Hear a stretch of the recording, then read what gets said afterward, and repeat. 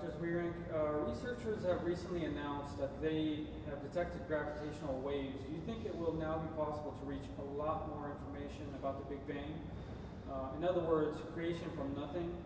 What is your opinion on that breakthrough discovery? What should it mean for us?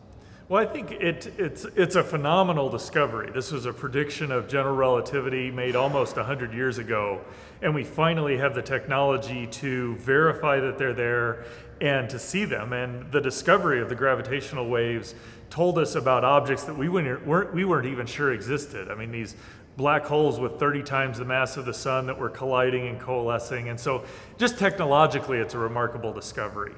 But beyond that, what it does is that it affirms that general relativity is correct. That says that the laws of, or the universe is governed by constant laws of physics, which I find a very theistic principle or theistic description of the universe. Um, but it also says that because gravitational waves exist, it gives us a whole new technology to explore the universe.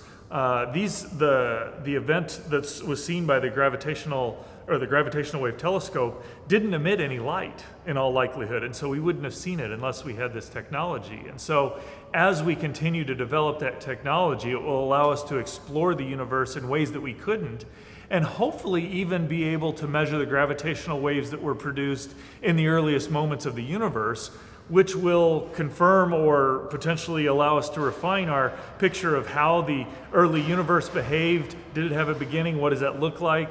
And I think ultimately it will establish and point to the fact that we live in a universe that began to exist. And again, I think that's a very biblical idea.